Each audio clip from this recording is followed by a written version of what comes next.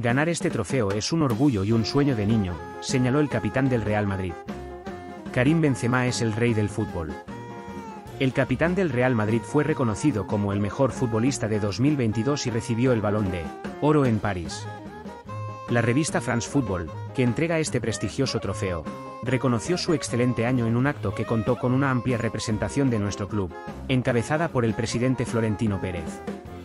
Benzema superó por este orden a Mané, De Bruyne y Lewandowski en una votación en la que han tomado parte 180 periodistas internacionales, que deciden en base a los méritos de cada jugador en la temporada 2021-2022. Benzema recogió el trofeo de manos de Zidane y declaró, tener este trofeo delante de mí es un orgullo. Me acuerdo de cuando era pequeño, todo el trabajo y los entrenamientos. Era un sueño de niño y siempre tuve este premio en mente. Tuve la motivación de ganarlo por dos ídolos, Zidane y Ronaldo. Es un premio que todos los futbolistas tienen en mente.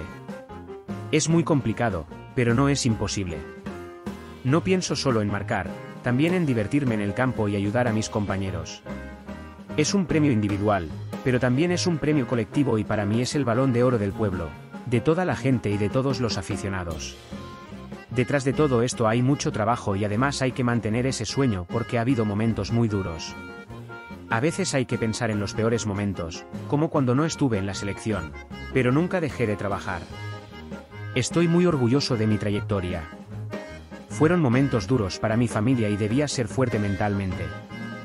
Estoy muy satisfecho de mi trabajo. Me gustaría agradecérselo a mis compañeros del Real Madrid y de la selección gracias a mi entrenador y a mi gran presidente, que es alguien de mi familia porque vino hasta mi casa para ficharme y demostró el tipo de persona que es. Tiene todo mi respeto. También al León y a su presidente porque sin ellos no podría haber llegado al Real Madrid. Gracias también a la familia. Mis padres están aquí hoy. No hay edad para conseguir este trofeo.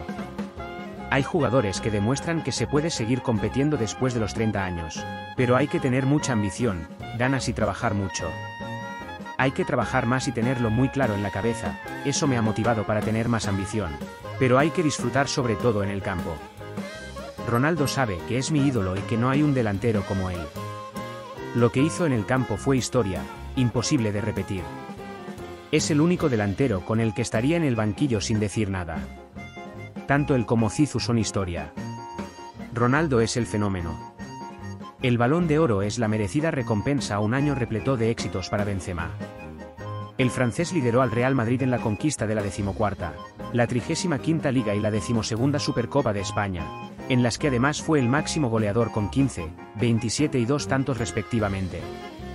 Además, su actuación fue también determinante para que su selección ganase la Liga de Naciones. El delantero del Real Madrid marcó uno de los dos goles de su equipo en la final.